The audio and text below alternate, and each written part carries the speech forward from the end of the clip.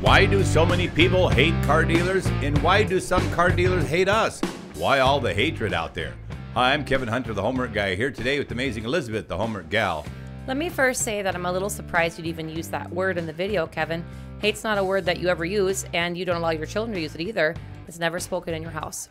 No, because hate is the devil's drug, and I don't embrace it in any form. I have found that people who hate are consumed by their hatred.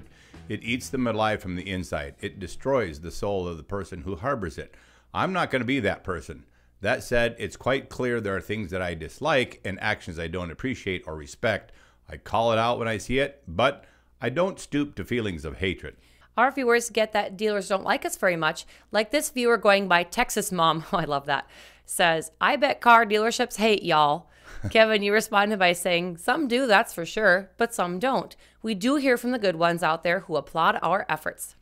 Yes, I actually spoke to a dealer just yesterday who told me on the phone call, I'm really honored to hear from you. You just made my day. Oh. Those are the words of the good guys.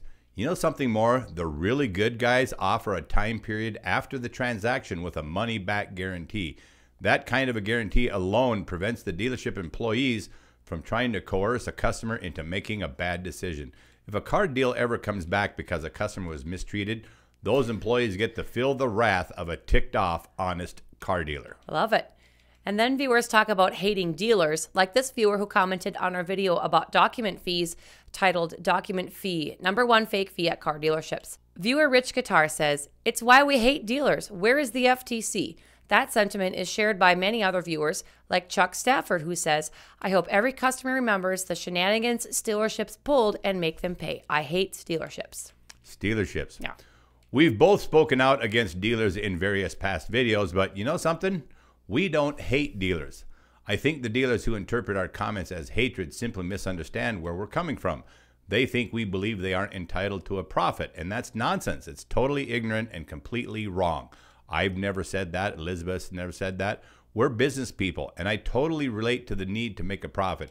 I have no objection to an honest dealership making a profit.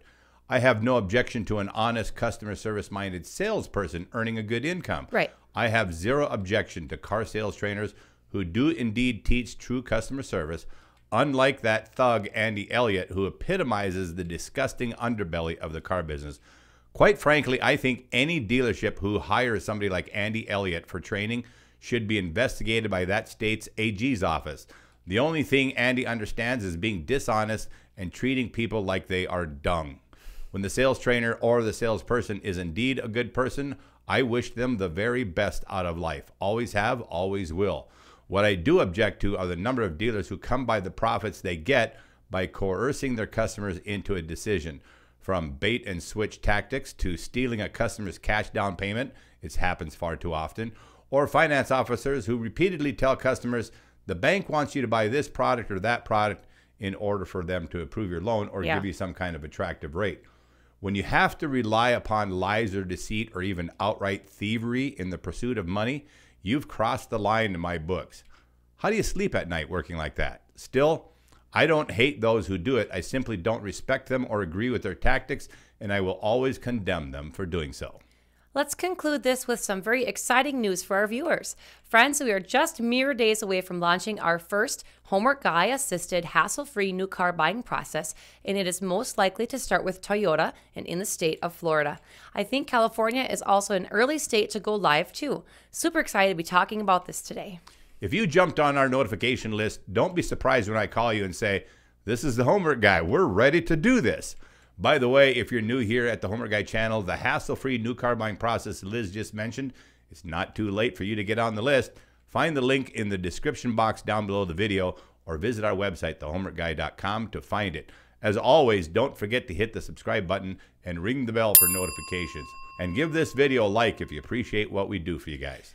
Right here, courtesy of the Homework Guy team and our show, is where you'll always find the most reliable tips and helpful information to assist you with finding an enjoyable car buying experience in today's car market.